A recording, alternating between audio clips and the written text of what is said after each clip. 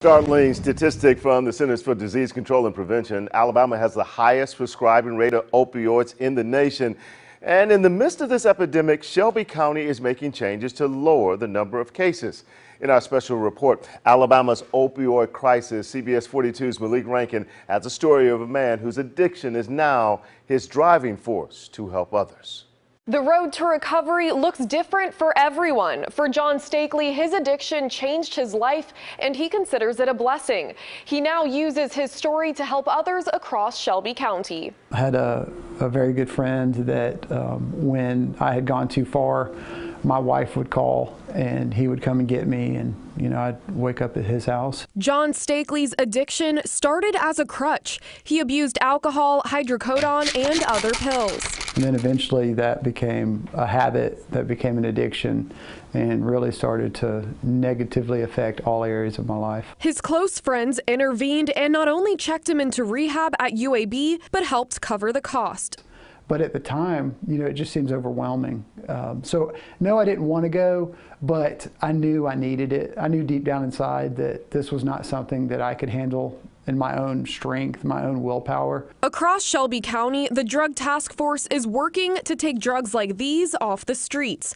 They post these photos on their Facebook page to get the community talking. Then we are doing that intentionally because if it stirs a conversation at the dinner table, then we consider that a win. Captain Clay Hammock oversees the Drug Task Force. He says tracking the opioid epidemic isn't so simple. Our overdose deaths in Shelby County are down drastically. However, don't let that number be misleading.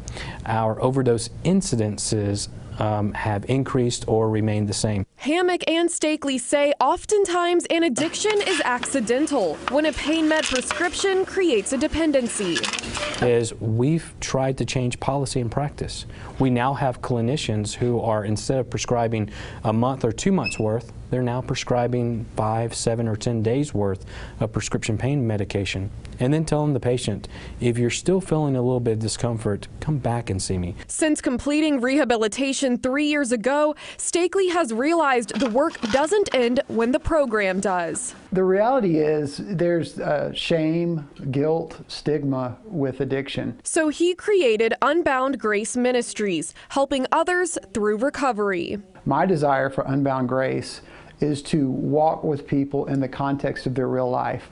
After rehab, after sober living, when they come back to their homes, their marriages, their families, their kids, schooling, whatever that is, and learn what it means to live in recovery in the real world. While counseling services can be pretty costly, Steakley services are 100% free, and they're covered by private donors who believe in his work. For resources on addiction or for those who know people struggling with addiction, go to CBS42.com.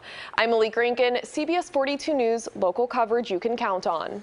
And all day today, CBS 42 taking a closer look at the opioid crisis here in Alabama and what's being done to tackle the problem in our viewing area. We have special reports in all of our newscasts.